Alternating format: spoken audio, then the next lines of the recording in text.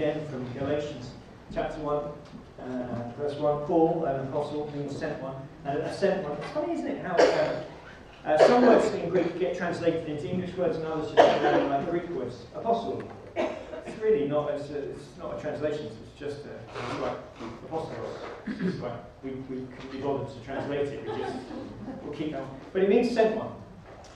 Paul, a sent one, sent not from men nor by man, but by Jesus Christ and God the Father. So he distinguishes between Jesus Christ and God the Father, who raised him from the dead, and all the brothers with him to the churches in West Bridgford. Grace and peace to you from God our Father and the Lord Jesus Christ. Notice that he adds in the word Lord to Jesus and Christ. So we have Jesus the person, we have Christ his identity as Messiah and King, and then we have Lord, the one who is risen and ascended on high, who rules over all things and is to come.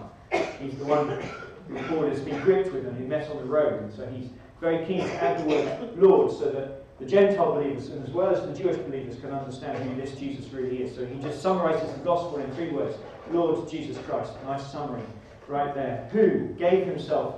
Jesus is, for Paul, is a self sacrificial God. If there is a God, what kind of God does Jesus represent? I was talking to a, a load of teenagers this week at uh, my first assembly at Reigate Grammar School. They all came in in their uniforms and sat in our church for the first time uh, while I've been there, and they sat there and I was absolutely petrified with 300 sick formers sitting at me looking disinterested. and, uh, somewhere we came across the room and, and, I felt all my energy left me. And I had to pray, God, help me right now. And, and, uh, and I found myself talking about the frustration that led Jesus to the cross. And I said, I don't know, because of course most of them don't believe in God or don't have a way of talking about that. And so I said, I, I wanted to tell them that if they did believe in God, what kind of God would Easter tell them about? And I told them that this God, the story of Easter is an interesting story because it's brutal and violent and ugly. It's not nice. Certainly not nothing to do with chocolate. And it's very interesting because it's so, so horrible. And, and I wanted to catch their attention and not just think Easter nice but, but and yellow, but rather Easter grey and dark and fearful and betrayal and denial and, and all the broken things. And I just want, and, and they know the experience of brokenness. They're kids. They know what it is to be, they know denial and they know brokenness and they know fear and they know disappointment. They're kids. And they, they've gone to school and they're now in the sixth form. They've got the wounds. You, you understand what I'm saying? And they, they're struggling because they live in a world where there is no narrative and they have to make sense of the world with their own ideas and the internet to help them, which isn't very much help. And so they're, they're trying to make sense of it. And I said, What kind of God does this story tell us about? It says, Here's a story of a Jesus who gives himself away, a God who gives himself away for you. He's so frustrated with the way the world is that he's willing to even enter it and pick up the mess upon his shoulder. And he's willing, he's willing to enter into this. I didn't say the word, but I, if I had been more if the teachers hadn't been in the room, I would have said crap. My mum always said, don't say crap, it's wrong. I said, it's just, it's just a word, it says crap. And now I understand what she's saying. As an adult, I understand what she's saying. But every now and again, I like it, because that's what it feels like, isn't it? It's a difficult place, this, this world. It's beautiful, but it's also full of brokenness. And, and Jesus enters into that brokenness and for Paul, it's the one who gave away himself. He had everything, Philippians 1 or Philippians 2. He who had everything gave up everything and took up upon himself this thing. And so Paul wants us to know that this is the God who Jesus, who Jesus represents. He's the self-sacrificial God. Why did Jesus sacrifice himself, though? Why did he give himself away? It's because it was a battle. I said, well, what's the word association again with Easter? Tell the person next to you. If I say Easter, what do you think of? And then I asked them, I said, did anyone say battle? And not one of them said battle. Because that's what it is. It's a battle. Jesus was set like a, his face like flint towards Easter in order to in order to fight this battle. And he knew this battle was going to cost him everything, this cup that he was going to hold. And it was painful and ugly, and he didn't want to face it. And if there's another way, Lord, I'll take it. But there wasn't another way. He knew it was going to cost him everything. So he runs towards this battle. And he says, If you want to follow me on the battle, then it's going to cost you as well. You're going to have to pick up your cross because there's nowhere to lay your head. It's going to be very difficult to follow me. Are you sure you want to follow me? Because it's only going to end up in one place. You're going to have to pick up your cross every single day and follow me. Because there's a battle going on. And, and the reason there's a battle is because I'm not done with the world yet. And I'm angry against the way the world is, says God. Not because I don't like people, but because I do like people. Just as we're angry with ourselves sometimes, not because we don't like ourselves, but because we do like ourselves. Does that make sense? You know, you're frustrated, the gap between what is and what could be. And you're frustrated, you look at yourself, whether it's your body, your health, or your academic achievements, or your or how your relationships are, or all those things. There's a gap and there's an irritation there, and it's a, it's a good irritation. Not all irritation is bad. I've had to learn that in my life. You know, sometimes it's, sometimes it's not helpful, but other times it's really helpful because the irritation is the energy that you need to make a difference in your life. If you're not irritated, you're probably static. And so we need to be irritated. And so God is so irritated about the world that he sent his son. And we translate that, he loved the world so much. And that's exactly what it is. It's a passion. It's a fiery passion. He will do anything to win it back and destroy the work of the evil one. So he says this, Paul, who gave himself for our sins to rescue us from the present evil age. There's a battle going on for our souls, for the way that the world is. And Jesus comes in to enter it to rescue us from the present evil age, according to the will of God our Father, to whom be glory forever. And then he says verse 6 I am astonished that you are so quickly deserting the one who called you by the grace of Christ and are turning to a different gospel, different good news, which is really no gospel at all. See, the story is, is the same even in those early days. People got used to the gospel and they threw it away very easily. And we do the same. We have this gospel and we need to, we need to recapture it again. And, and, in a way, we do that every time we meet for bread and wine. We tell the gospel story, we just repeat it. But even that becomes, becomes part of the, the wallpaper of the world, doesn't it? It just becomes normal for us. And so we forget the power of it over us. And we need to, we need to recapture it. So this is what I want us to do in this session, God willing, that we will recapture the passion that we have for this incredible story, the one that first won our heart. Where's Mike? You know, four years ago, that story that, that, that caught your heart and rescued you from the world, from the way that you felt, and you just didn't want it. And you came to Lee, and I don't want to tell your story for you, but you came to Lee and said, I, I want a new life. And that we need to, four years is a long time to hold that. And, but we need, and some of us are longer. How, how, how long's your story? We need to remember what it is to be rescued if we're going to rescue anyone else. We need to remember what it is to be rescued if we're going to rescue anyone else. So the main challenge is that we're living in a post-Christian culture, but we don't know it. We're asleep to it. And we assume that we can turn this thing around with a few techniques, and they, they won't work. I don't want to ruin anyone's party, but messy church will not save the world. I mean, it's a good thing, don't get me wrong, but it's, it's not sufficient. I don't know if you have a monthly prayer meeting. Do you have a monthly prayer meeting? How many? 10? 15? How many people come? 20? Should I go up or go down? Stay, stay there. Stay there. It's insufficient. Isn't it? Think about it for a moment the remnant, the remnant of God in West Bridgford. And they pray. And there's 30 of us. It's the same in every church.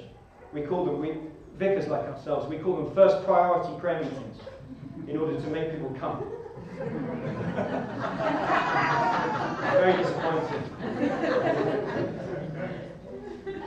We know that it's not the first priority. Jesus said, when you pray, not if you pray. They met together in their homes regularly. Every day they met in the temple courts and they broke bread in each other's homes and they prayed and they worshipped together every day. And thousands of people came to faith. We need to change. They knew they lived in a, well, they lived in a pre Christian culture, didn't they? And they knew that. They carried it around in their very bones. There was a, the multitude of choices about who you could worship and how you could worship what you did with your body. Sexuality was not, it's not, not like we've suddenly discovered it in this generation. No, there was a multitude of ways you could express your sexuality in, in the birthplace of Christianity. There was a temple in every corner and probably a prostitute to go with it. There was a different way of being human. And Jesus came into that world and he was so frustrated that he came to rescue them from the dark world that they were a part of. And there was appalling economics at that stage as well. And there was slavery and oppression of all kinds. There was dehumanization of children and young people and, and also older people and, and disabled and all kinds of things. And, and Jesus comes in to break open that, that world because he was frustrated enough to leave his temple in heaven and come down to the temple on earth and to remake the temple on earth. Does that make sense to you? That's the story we're living, and we need to learn it again. and feel the passion of it. Well, so this is the main story, and the word is the gospel. Eh? Everyone say gospel to me. Gospel. Yeah, see, we're familiar with it, aren't we? We know what it means. Except we don't know what it means, or at least we. It doesn't. It doesn't wrap off our, our tongues very easily. And if, uh, if I said to you, tell the person next to you what the gospel is, oh no, don't ask me that. That's going to be. That's going to ruin it, isn't it? That's going to. How am I going to know what the got? I mean, it's like, what do we say? And I was given as a kid a very simple gospel that I'm a sinner and I could be forgiven by Jesus because if I believed in Jesus dying for me on the cross, so that I could be forgiven, I could go to heaven when I die. Is that a gospel familiar to you? It's an interesting gospel and it's, it's, it's good in part, but it's not the whole gospel. It's not the gospel. Well, I discovered that it wasn't the gospel of Jesus. Can, can we agree that Jesus was smart? Yeah, would you agree? Not like smartly dressed, but, but intelligent. Dallas Willard is the guy on the end. And if you ever get to read any of his books, I really recommend that one. He's, he's gone to be with Jesus and he's asleep with him until his body gets resurrected on the final day. But, um, but he's an amazing guy and he, he, he's taught me so much and I'm so grateful for his life. And he says this Jesus was smart. And he says, but rarely do we give, if you, put, if you do a word association game with Jesus, you very rarely get the word smart out of people, intelligent. But if he's not intelligent, well, why would he be your Lord? If he's not smart, why would you submit to him as someone of your great, the great wisdom in your life? I just want to remind you what we know to be true. He, well, do you know this guy? Steve Jobs, you know him. If you did a word association game with Steve Jobs, people would say intelligent, clever, sharp, or maybe smart. Can we assume that Jesus was at least as smart as Steve Jobs? We'd agree, wouldn't we, in the room? At least as smart as him. And I would say, given that he made the heavens and the earth out of nothing, that makes him a little bit smarter than Steve Jobs. If he can turn water into wine, and if he can heal the sick and cast out demons and turn things around, bear the weight of the sin on his shoulders, then that makes him even smarter. If he can walk on water, he knows a few things. What is this smartest man that ever lived? Steve Jobs began, he would come into dark rooms in his trendy black top and his cool jeans, and he would hold up little bits of technology. This is an iPhone. and there were magical moments, literally magical moments, and people would go, they would go, and people would be taking pictures around the room and loving it. Now, can you imagine Steve Jobs wondering beforehand what he was going to say as he enters this room with the lights. And yes, he's orchestrated every single moment of this moment. He's made it as good as possible because he's smart and he knows that this moment is going to be his first moment to deliver the news about this great news that he's got. This is an iPhone. He would have thought, what word shall I use? What name shall I call it? What shall it be? How shall I present it? How shall I demonstrate this is such great news? He would have thought about every single moment of that presentation and he would have made sure it was absolutely perfect. Can we assume that Jesus was at least as smart as Steve Jobs? Yes, we can. So when Jesus enters the world and he begins his ministry of proclaiming the good news, can you assume with me? Yes, you can. That he's going to be at least as smart and he's going to put some thought into what he's going to say. So, what was his gospel? Well, we know what his gospel was. Except we don't know what his gospel was. It's not often on the top of our, our, our, lips. In fact, I didn't know it for years, even though I had a gospel. In fact, I had a gospel about Jesus. Have you got a gospel about Jesus, or have you got Jesus' gospel? It made me think, because when I got asked that question, I, I had to unravel a few things. I said, well, I don't know. And, and it's interesting, isn't it? Because uh, what was Jesus' good news? Well, here it is in Mark, Mark 1 14, 15. After John was put in prison, Jesus went into Galilee proclaiming the gospel of God, the good news of God evangelon, evangelion or something. And here it is. The kingdom of God is at hand. The smartest man that ever lived has some fantastic news for the world. And it was that the kingdom of God is available for you right here, right now. Right here, right now. God's kingdom is invading the kingdom of this earth. The kingdom of the air is being pushed back. The prince of the world is being pushed back. And God's kingdom is coming right here, right now. And then he said after this, repent, rethink your ways of living. I had interpreted repent as, um, as um, saying sorry. It means more than saying sorry. It's a, it's a, it's a rethinking. Reponse. Reponse is to rethink. Uh, metanoia is the Greek word. Noia is a thinking word. You get uh, paranoia from the same root. It's a thinking thing. And meta means again, again think. To rethink something in the light of this great news is what Jesus was offering his people. Saying, This is incredible. God's kingdom is right at hand. Rethink the way that you live and enter this kingdom of God. Trust it. Trust me as the king of this kingdom. So, what is this kingdom? Because I think there's a bit of ambiguity amongst us as, as, as churches about the kingdom of God. In fact, uh, uh, people can be taught about the kingdom of God for years and then they still don't really know how to talk about it. And we don't talk about it with our kids either, very much. We don't talk about how, unpack it for them. So, I've been trying to work out over the last number of years, and I'm still struggling to work out how do I talk about the kingdom of God. But I, I use this phrase the kingdom of God is the range of God's effective will. It's where God gets what God wants. Does that make sense to you? Just as you have a will. Do you have a will? Oh, yes, you do. you feel it in the coffee queue, don't you? How long does it take to get a cup of coffee? Come on, just move on to the milk. Come on, let's move on. That is the expression of your will. Have you felt that this morning yet? Or was it just me? I confess. I, I wasn't feeling that badly about it. I exaggerated for effect, you understand. But that's our will, isn't it? And wouldn't it be great to have your will done on earth? And so when you get married, you discover that there is another person in the world who also has a will. and then you have to work out what it means to work together, because two of you have a will. And, and then you have other little people, and they have wills as well.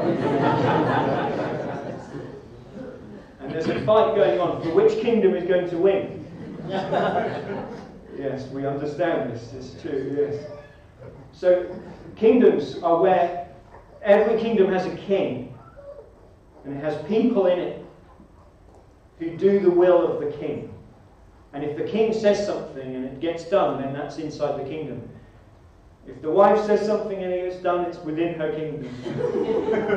if it gets said and it doesn't get done, it's outside her domain. Mm-hmm. It's a frustration to her, but she wa- wants it to come, but it doesn't quite happen in the way that she wants it. And so she keeps exerting herself until that thing comes in the way.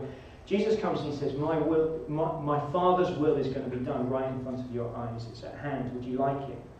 Here it is, right here, right now, for you. You can be poor. Blessed are you who are poor. You don't have to earn it. Here it is. It's a gift. It's a free gift for you right now. You can be mourning. You can be broken. It's right here for you. It's available for you. In fact, some, strangely, for those who think that they've already got it, it won't be for you. It'll be for those who don't think they've got it, who really need it, who are desperate for it, and it's for you. But it's where God gets what God wants to do. So here is the kingdom of God, the domain of God's will. And it really helped me to think of it as a dome. Because the word kingdom has got dome in it. And so uh, as I heard myself talk, or maybe the guy who I heard it first talk about it, he maybe did something like the kingdom of God, and he went like that, and I said, oh, that's, and I drew my drawing in my notebook. It's the kingdom. Yes, that makes sense. And, and now, so that's what I do. I draw this top hat. And just because of the kingdom of God. It's my little icon of the kingdom. And then, and, and then so Jesus is saying, here, here am I, here's the domain where God gets what God wants in the world. And it's all around me, it's centered on me. I'm the bringer of this kingdom, and I'm going to articulate this, this kingdom. And it's, it's all my message. It's all I want to do is to invite you into it. I want to describe it. I want to tell you pictures about what this kingdom is like. I'm, in fact, that's all that Jesus talked about. A hundred times, the narrative is all about the kingdom. And everything was pointing towards the kingdom. And then he sent his disciples out and he told them, You go and proclaim the kingdom and also do some stuff where it looks like God's getting what God wants, which looks like healing, doesn't it? It looks like healing every single time, doesn't it? Jesus proclaims the kingdom of God and then bodies are made straight. It's like, it's like our backs get straightened up when we're in the presence of something that is good. And, so, and it's if healing is just happening. It's, people are getting straightened because God's will is being done on their bodies. Uh, he describes one person as having has scoliosis, and he says Satan has, has had their reign over this person, a hold on this person for too long. I've come to heal them. He did it on the Sabbath. Do you remember that story? He did it on a rest day. And they were all upset about the fact he'd done it on a rest day. he said, well, God's kingdom comes in a beautiful way. It can happen on a rest day as well, because God's kingdom is alive.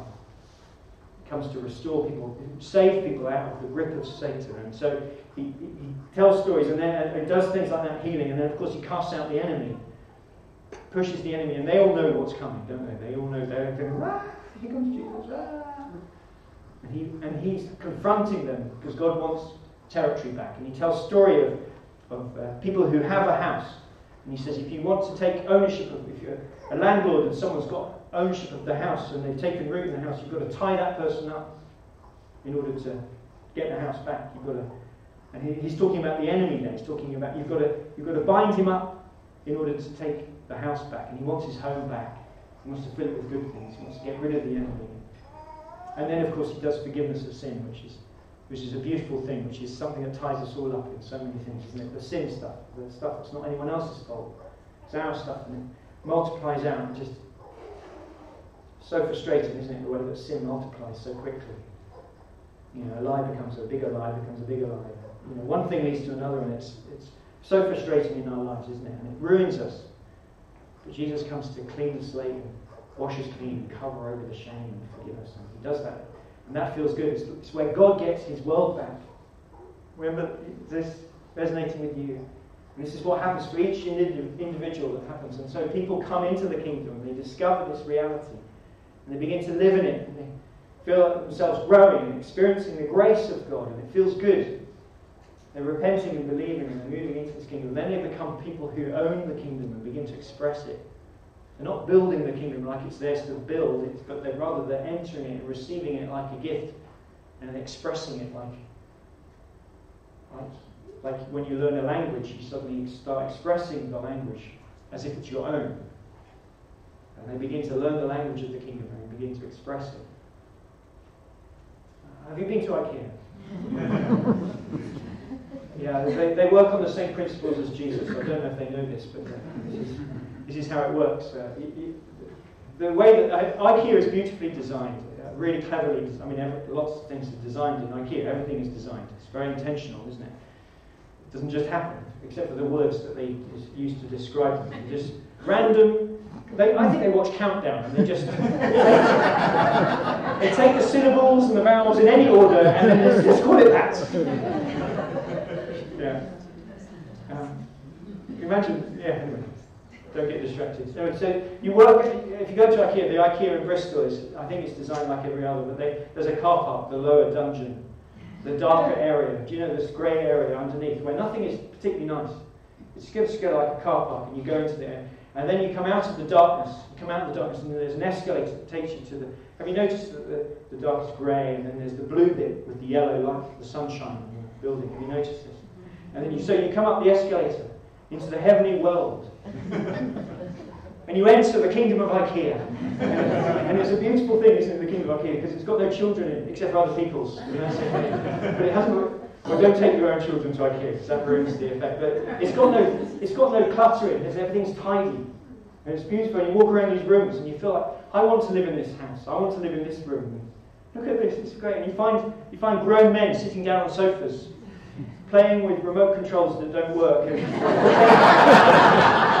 pretending they're watching television, relaxing, imagining their lives. They're reimagining their lives in the reality of this kingdom. And you walk around these things, and it kind of it's infectious, isn't it? It's just like room after room, you become IKEAified. You just begin to want to live in this kingdom, this domain. And they take you into an experience of the reality of IKEA. And then you come out of this place and then you have a nice snack lunchtime with some meatballs and some really nice things. We all love that bit, don't we? We get fed. It's interesting. You know, Jesus does the same. Gives you a taste of the kingdom and then he leaves us with a meal. I'm stretching the analogy too much, but he understands. And then we, and then we go into that day the, the world where we have to transfer our allegiance to this thing. We have to give our lives, we have to die to ourselves. And we think, how on earth did five candle packs of candles and some pop plants come to 60 quid? I don't know.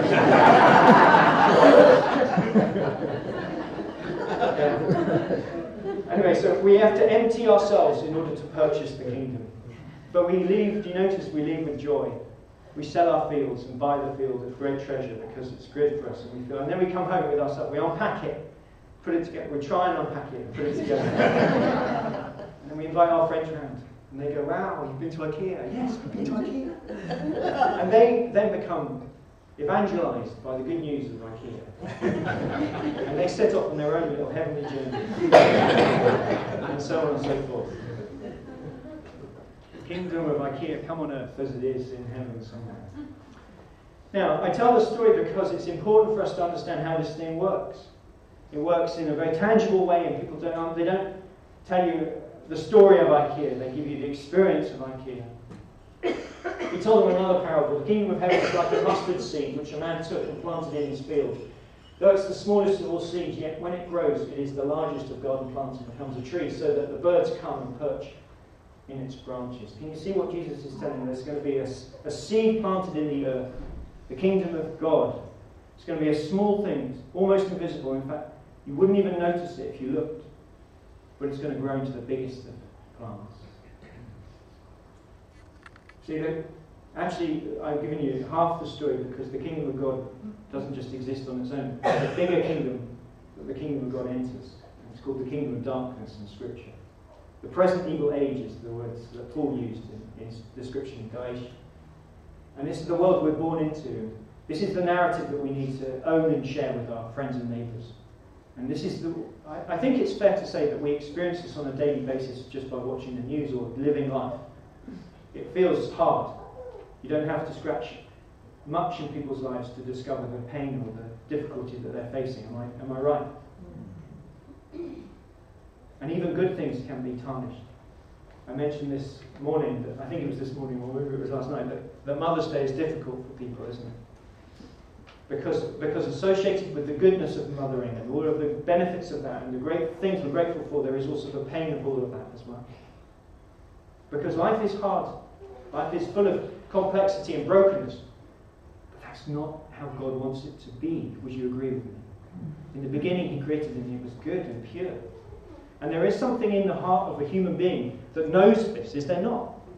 There is a in, inside the heart of every child that says it's not fair. There is something wrong. Uh, the question is, what's wrong? Is it them out there? Is it the government? Is it America? Yes.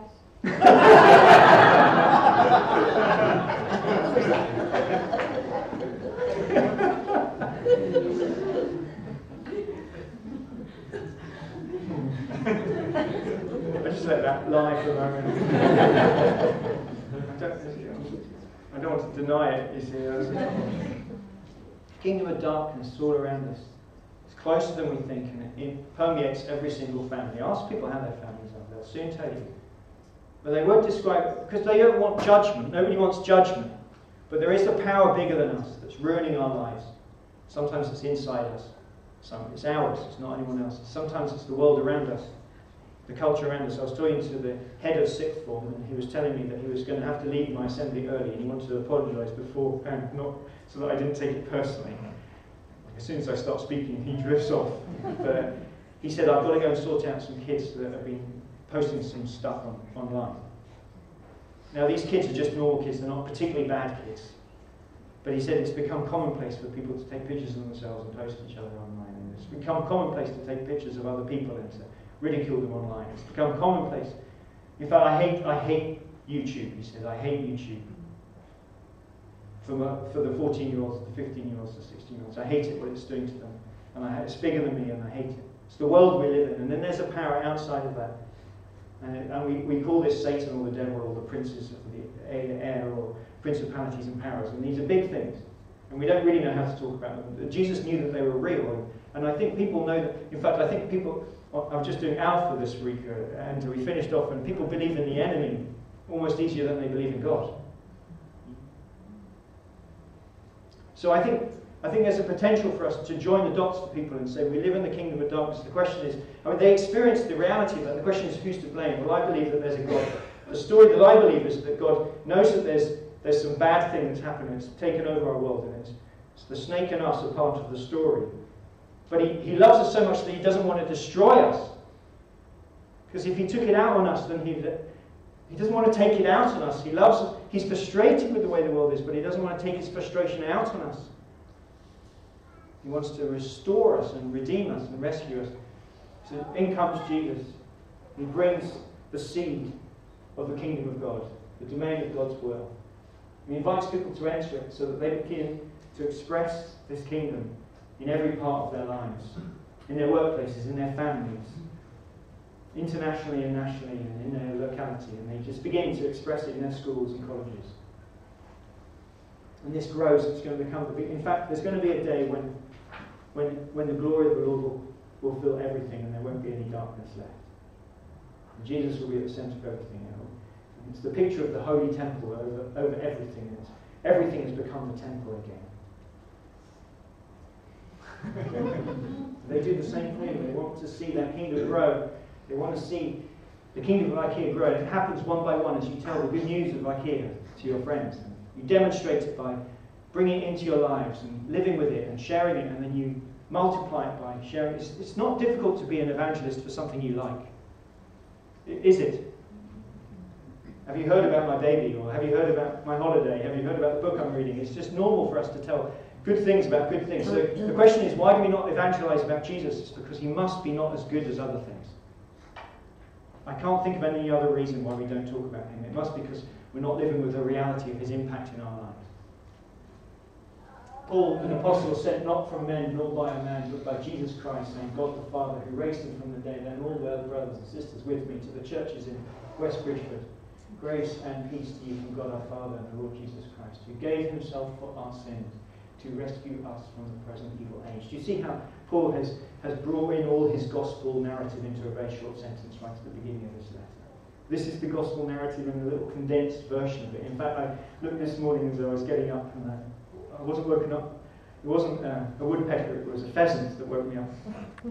And, and, I, and, I, and I got my Bible open and I was inquisitive about the gospel and how often Paul talks about the gospel. And if you read through AEIOU, Galatians, Ephesians, Philippians, Colossians, and Thessalonians, mm-hmm.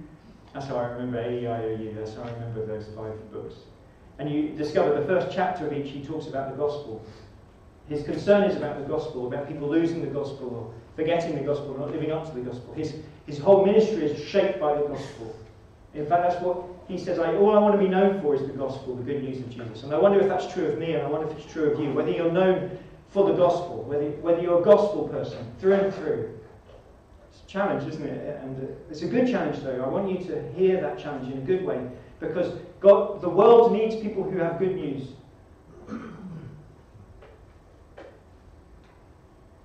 Doesn't it? Need people who have good news rather than just bad news. Who are the good news tellers about Brexit? Who are the good news tellers in divorce? Who are the good news tellers in your street? Who are the good news who are going to help people to work out how to use the internet properly and protect themselves? Who are the people who are going to bring good news in their communities? Who, who are they? Who are the, and, where, and who's look, we're all looking for people who bring good news, and we're the ones who are given good news in Jesus Christ. And He wins.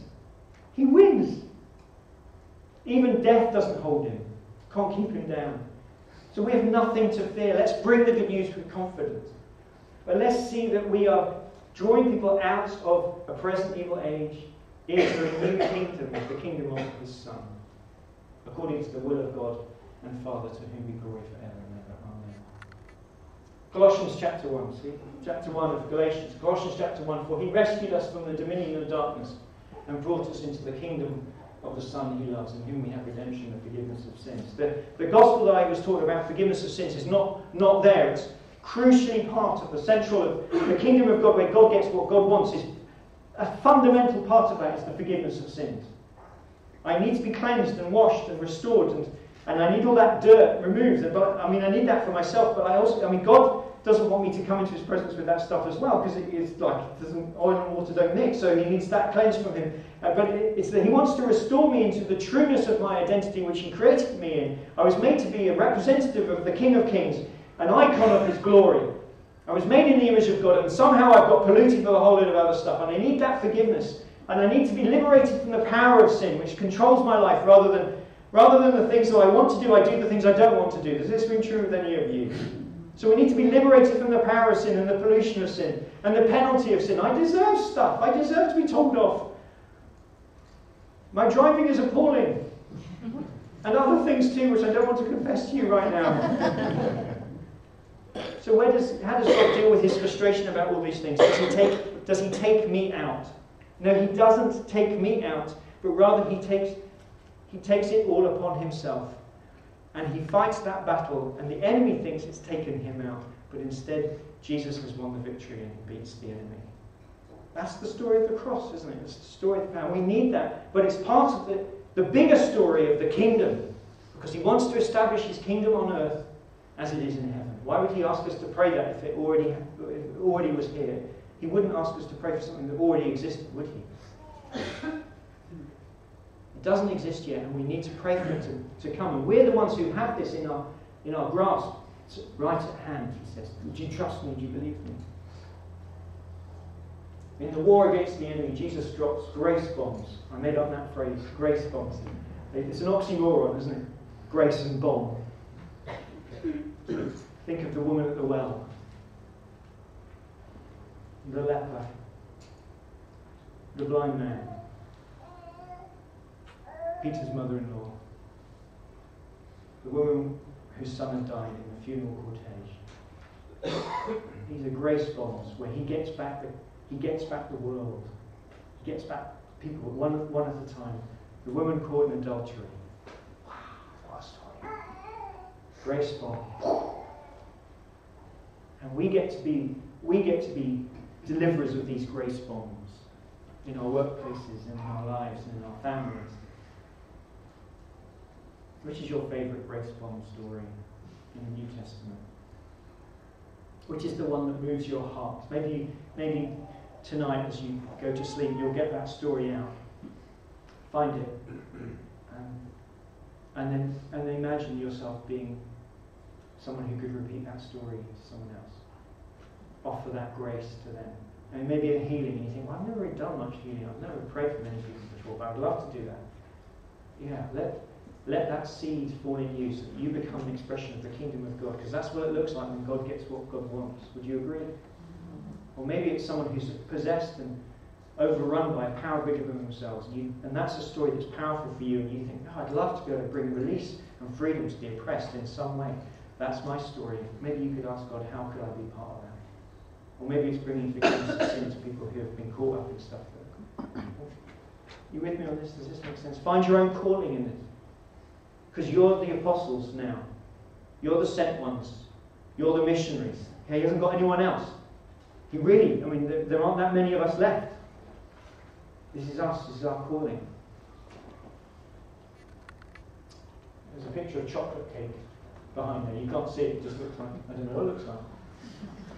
Um, I, I, went on holiday to um, south of Spain in August. Yes, it was hot. And, uh, and we had a, had a house, a little cottage with a, with a pool, tiny little pool, but it was a pool. And, and uh, 8 o'clock in the morning was about the latest you could stay up before it got too hot and you had to go inside. But we went swimming in the morning and then, and then we just sweat the rest of the day until about 10 o'clock at night where we would go to the little villages, the white villages of Andalusia. Is that right? Is that right? Yeah. Beautiful, really fantastic. And it was owned by this rather splendid English couple, expat couple, who lived and bought a house on the hillside overlooking. Um, the, the, down below was the, the, coastline, Fuengirola or something like that. If that's right, Malaga was a little way off. And, uh, anyway, so it was, it was, a very beautiful elevated view, and the breeze was coming up. And they had this amazing house, and they invited us for, for drinks on their terrace. And, and we were very grateful. And uh, we went and every day we driven, we had our little cottage and, and our little white house, and they and then next to us was another little white house, and, and in that white house there was some. They rented that out as well, and there were some nudists in that white house. The kids noticed that. and, uh, and, and the, the driver went past the nudist garden, and, uh, and every time we, well, the first time we, was that really what you want? and then then, of course, every time we drove, because that was the only way out, we had to drive past the nudists, and of course, the expectation and anticipation was fantastic. and we drove, did you see? Yes, I saw it. I saw it. I tell you, have something so simple and so much fun. It's fantastic. it was, it was bad. So we and then, and then, so we'd driven past these nudists who we'd seen in all their glory. and, uh, and then we got to shake their hands in real life at this, at this little drinks thing that they had to we shook their hands. And they were fortunate they put their clothes on, so shook, shook their hands. We had a really nice evening, and it was, it was just a beautiful evening with breeze coming up the valley. And, and, and this woman who had done this for years, she told us this story of a German that used to come and stay in one of her houses, or when she had people to stay in the house. Grand, beautiful house, fantastic with a staircase that kind of came both ways. And he and this German would love this English woman and love the English tea. And he, she used to make cake, English cake, which is unusual in hot Spain. And, uh, and, and he, he came and, and she gave him cake. And, and then one year he came back and she'd stopped doing the house thing and he just arrived and he said, I don't know if I could stay. And she said, well, we don't do that anymore. And, but just because they built relationship over so many years, she said, yes, you can come and stay for a bit. And, he sat down and, and, and, and he was waiting. And she said, Are you okay? He said, Yes. I'm thinking about the chocolate cake. and, uh, and she said, Well, I'm thinking about the chocolate cake. And uh, she remembered that she used to always bring chocolate cake. And he had a taste, and this was like he'd taken his bags, put them in the hall, and he was he sat down waiting for the chocolate cake. And I share that only because I like chocolate cake too. And, and I've never known anyone who's given me a recipe for chocolate cake. No one's ever given me a recipe for chocolate cake. They've only ever given me chocolate cake. And I've never asked anyone for a recipe of chocolate cake. I've only ever asked someone for chocolate cake. And I wonder if the same is true for us with the kingdom of God. I don't think people are interested in the recipe for the kingdom of God. I think they're interested in the reality of the kingdom of God. It's not about the recipe, it's about the chocolate cake. If people have tasted and seen that the Lord is good, they will want more. So we need to carry not the recipes or the theologies. I don't think it's about theology. I think it's about the experience of the kingdom. And I think this is true for us in the room as well, because I think we've had a lot of a lot theology about the kingdom. I mean, here we are sitting in a lecture room as if, as if all the words are going to make a difference to our, the way that we actually live.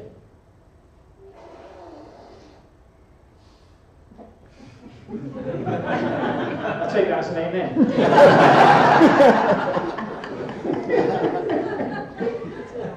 um, I think that's a sign from the Lord to hurry up. Um,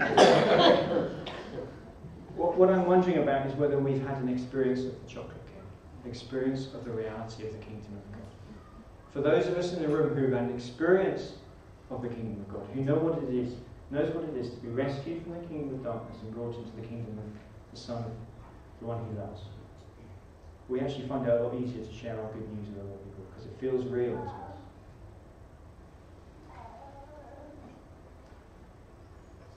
And don't feel condemned by that just feel the pull of Jesus towards you. This is how Jesus worked.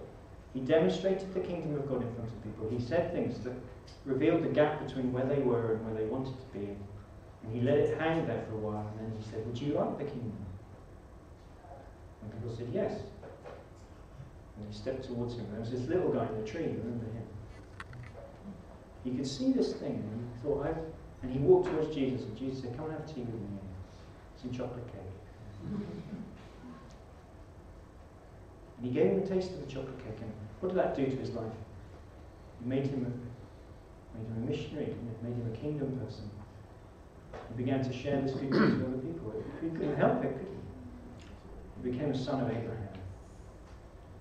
None of us are disqualified from this. In fact, the more vulnerable and broken you are, the more aching and thirsty you are, the better it is. Blessed are you who are mourning, for yours is the kingdom of heaven. Blessed are you who thirst and hunger for righteousness, for yours it belongs to you. So this is our new story. Do you know, at baptism we, um, we do this thing with, with water that we also do with the cross. Just after people get baptized, and we say, do not be ashamed to confess the faith of Christ crucified. What do we say next? Does anyone know? Life in me as a disciple of Christ against sin. We know these words, don't we? They're familiar to us. Do you notice that as soon as someone is baptized, we baptize them into Jesus and into the battle? It's our story. It's a, it's, it's a ritualized version of the gospel. Rescued out of darkness, dead, dies to it, resurrected, commissioned into ministry. It's the, it's the whole narrative in a very few actions and a very few words. We need to reclaim these words of ourselves. You might want to pray this over yourself. Do not be ashamed, Richard, to confess the faith of Christ crucified, the one who gives himself away. But fight valiantly as a disciple of Christ against sin in you. Fight against sin. Don't let it take any foothold in your life. Fight against it. Like your life depends on it. Fight against the world, not against people, but against the influence of this world. Discipline yourself. Run the race. Take it seriously and fight against the enemy. Take territory off him. Make it your life's ambition to make a difference. A good prayer, isn't it? Uh, it doesn't surprise me. It's lasted for 2,000 years. This is our main story. It's the story of the kingdom of God. Would you like it in one word?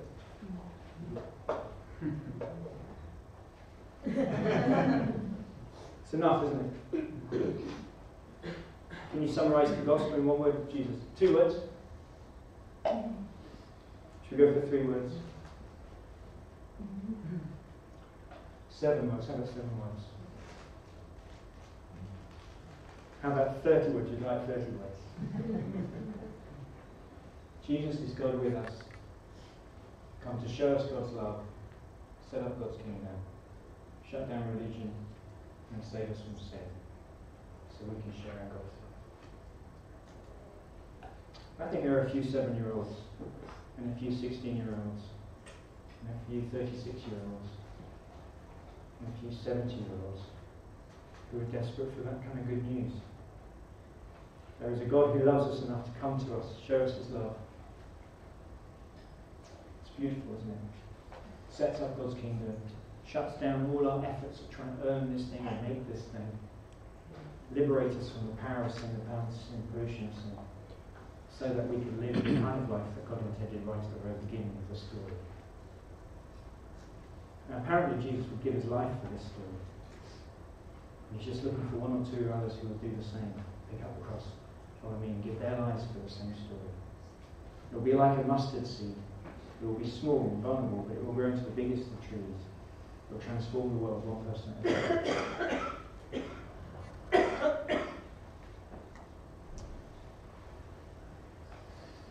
So, we're going to sing together, but uh, before we do, why don't you just take a moment?